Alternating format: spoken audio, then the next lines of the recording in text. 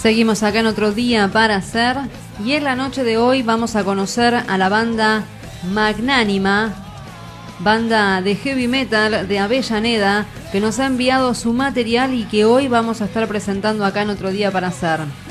La banda nació en Wilde, en Buenos Aires, a principios del año 2011 y están fuertemente influenciados por el heavy metal nacional, por bandas como Hermética, Malón, Almafuerte, Riff y B8.